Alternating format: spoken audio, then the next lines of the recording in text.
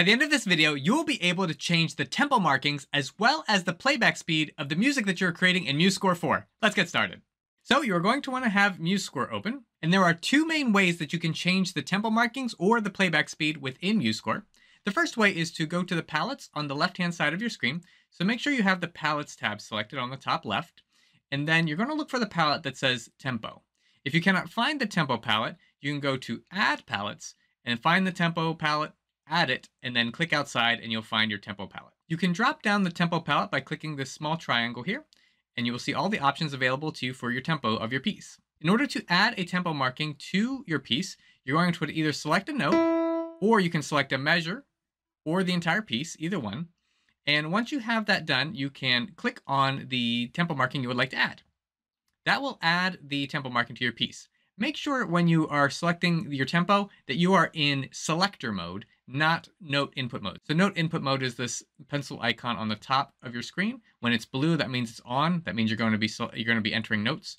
You want to turn that off. That will put you into selector mode so that you can add and edit your tempo markings. So now the tempo of this piece is quarter note equals 80 BPM or beats per minute. What that means is that for every minute that goes by, there will be 80 pulses or 80 beats. For reference, 60 pulses per minute is much like 60 seconds per minute, so that means you would have one pulse per second. In order to edit that tempo marking, all you need to do is be in selector mode and double click on the tempo marking. It will turn blue and there'll be a cursor icon appear and I can use my keyboard to enter numbers in here. So let's say I would want that faster, maybe like 140. And then you will want to click outside to make the tempo marking permanent. So now that I've added that tempo marking, it will be reflected in playback. Your playback controls are on the top right-hand side of your screen. And I'm actually gonna click these six dots here and drag into the screen so that I have more options available to me for the playback. And now I'm going to go ahead and play this piece. And you're going to hear it's at 140, so a pretty quick tempo. Okay, so that worked out well. And on these playback controls, you're going to see on the right-hand side, there's a quarter note equals 140, which is exactly what I input for the piece. Now, in order to change your playback speed without changing anything on your score, you see there's a tempo and then 100% here. And you can change this percentage and it will change the tempo marking or the tempo speed. So you can see the playback is now going to be slower at 112. So if I make that smaller, say 50%, now it's going to be 70, which is half of 140. So even though it doesn't change the score, it does change the playback. And if you were to export this as an audio file, the audio file would have the tempo that you set here with that percentage. So I'm going to go ahead and play this, and you're going to hear it's much slower now. Perfect.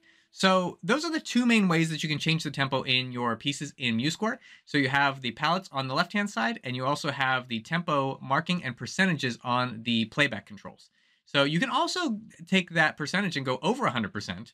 So if you wanted to go 200%, you can see it's going very fast now, and so forth. If you would like to dock the playback controls up into the upper right again, you can just click those six dots and then drag to the upper right till you see that blue screen, and then you can drop right into place. If you would like to delete a tempo marking, you can go ahead and just click on the tempo marking and then press delete on your keyboard. Another way to delete something is if you have it selected to go up to edit and then delete. So that will also work. One last thing, you can actually change the tempo markings for different parts of your piece. You can actually go pulse by pulse or even measure by measure. And so in order to do this, I'm going to have the second measure selected, and I'm going to add a different tempo marking there. I'm just going to click on quarter note equals 80, and it will add that. So now I've got 140 for the first measure, 80 for the second. And then let's say for the last two measures, I actually want to use words instead of the tempo markings. I can use the words here. And you can see they have uh, different options available for you. And just so for reference, the order of the words by default are by slowest to fastest. So prestissimo is very fast. I'm going to go ahead and add that one to my third measure. So I'm going to drag that one and I'm going to attach it to that note and we'll add it to the third measure. And then uh, lastly, let's do an adagio or slow speed. And I'm going to drag that to the fourth measure. Now when I play this piece, every measure is going to be a little different. So let's take a listen.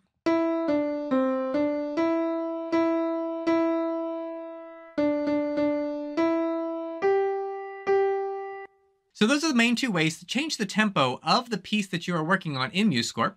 There might be times when you are working with your tempo markings in MuseScore where you would like to hide the tempo marking. And so in order to do that, you can just select the tempo marking and then go up to the properties panel here on the left-hand side of the screen. I'm to click that. And here I can change if I would like it visible or not. So if I would like it not to be visible, I can just click that. So now the tempo marking is not visible, but it will still be reflected in playback controls and if you were to export this as an audio file. If you made it this far into the video, you might also be interested in learning more about MuseScore 4.